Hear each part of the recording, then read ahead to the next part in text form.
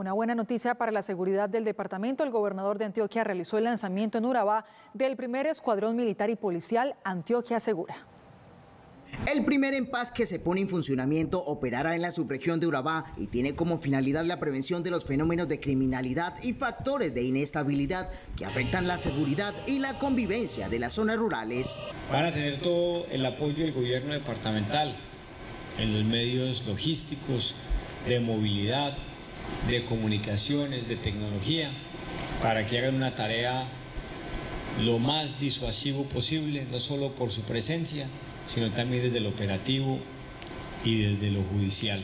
En el departamento de Antioquia, 25 zonas rurales estarán vigiladas por este binomio de la fuerza pública. Los EMPAS es un modelo de servicio a la comunidad rural que les va a permitir sentir y ver la presencia institucional en esos territorios.